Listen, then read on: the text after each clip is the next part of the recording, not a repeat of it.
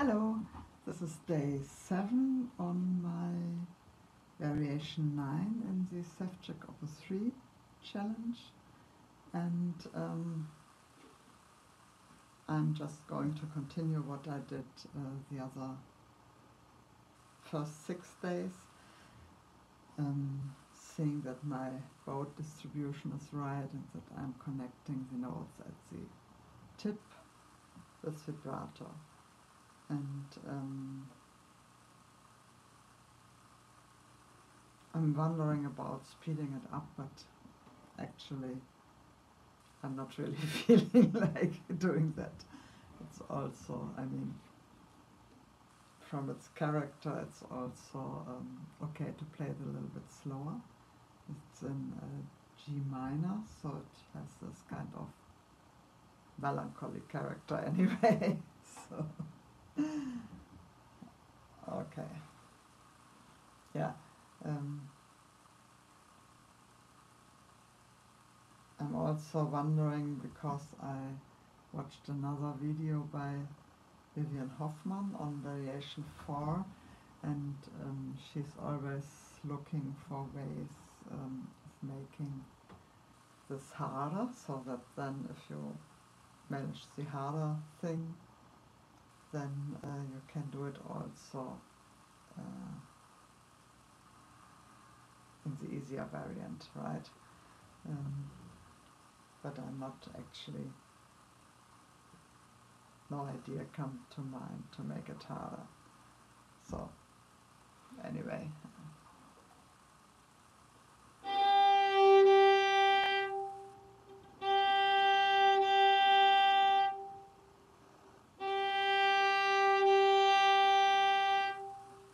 One thing is um, to really reach to the tip and um, maybe one way is to overshoot. But then uh, that um, doesn't go together with connecting the notes at the tip. So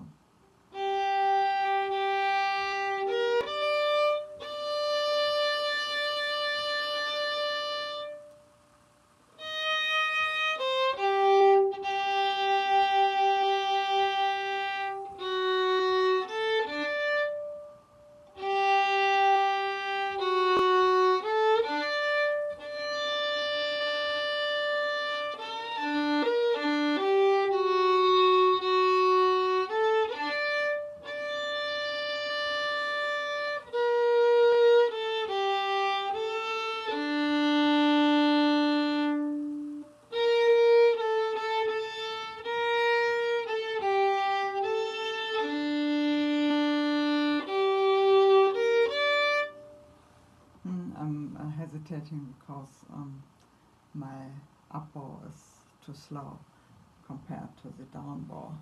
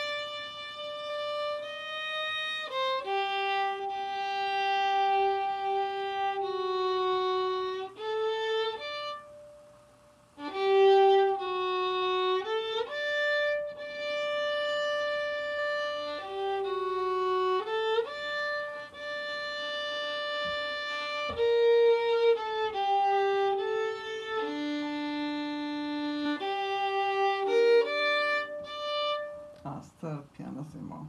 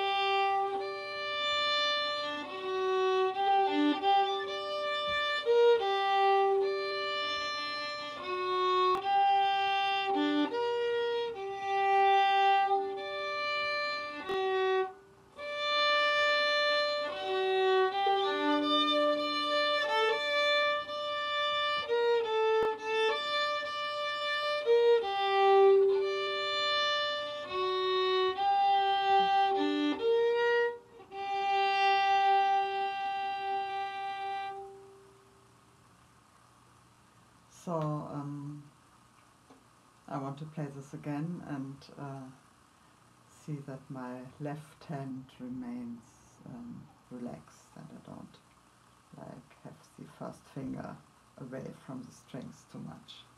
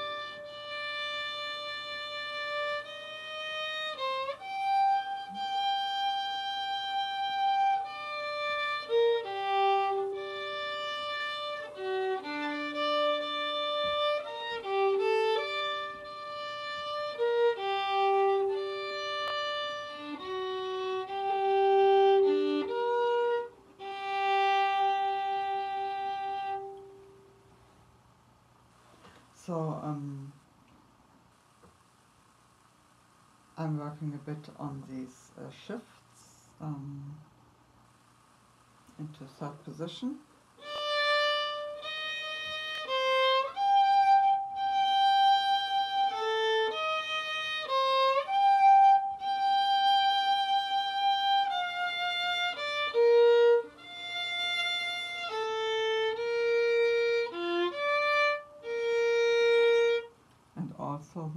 That um, go into the flageolet or into the harmonic.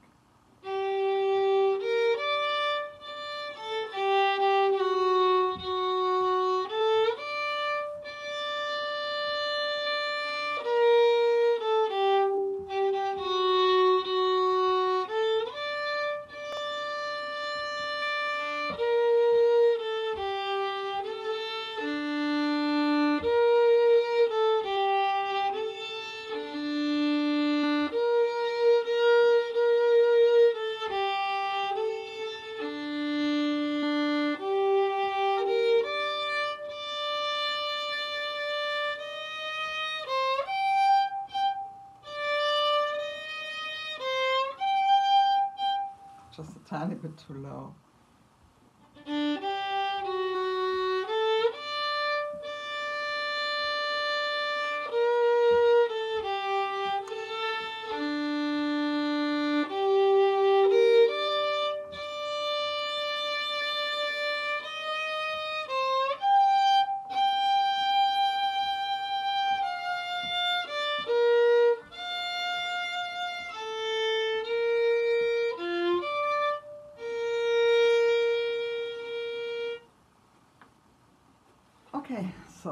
That's enough for today. I actually I like this variation. Uh, and uh, yeah, it's uh, a pity to leave it behind, but I can still revisit it, of course. So I just looked ahead, and um, number 10 is going to be on spiccato. So that's also something, something um, a little bit different, but it has um, challenges with uh, switching between spiccato and uh, slurred notes. So I guess um, this um, finger flexibility will come in handy to if I lens softly on the slurred notes. Okay, good. Talk to tomorrow. Bye for now.